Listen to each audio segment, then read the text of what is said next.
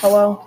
So this is our car. It has an axle that is made out of two washers, so it doesn't get stuck on anything when it spins. Uh, right now we don't have the solar panel on yet. We just have a battery. Um, we have a cardboard bumper in the front, and that will stop it from hitting the ball. It's also recycled material. Um, we have a gear ratio, 30 on the top, 60 on the bottom, so a two to one ratio. Your turn.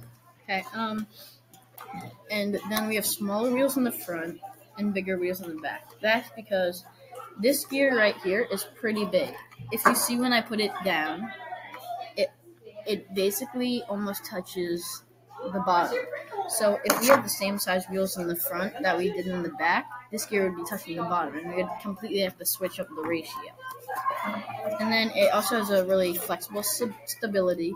So let's say we like trip over a rock, like maybe there's a big rock that we run into, and it like just like bang.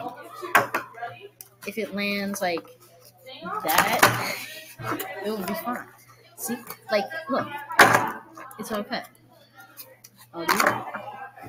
Um, so this will help with our carbon footprint because it doesn't use gas, power, fossil fuels.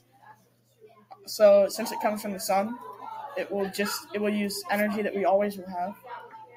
Um, the solar panels take in the energy from the sun and they go to the gear, to the motor, through wires, copper wires, that are conductors to the, the uh, motor that's, that has a gear on the end that spins and spins the wheel.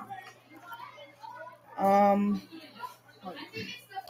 And for the materials that we chose for this car, we were thinking to do a foam base. Many people were doing cardboard or wood, but we were thinking that's a little too heavy. And if we had foam, like what we did, it would be lighter and a better material to work with. So it could ride smoother and hopefully faster. but it's also very stable. Stable, yeah.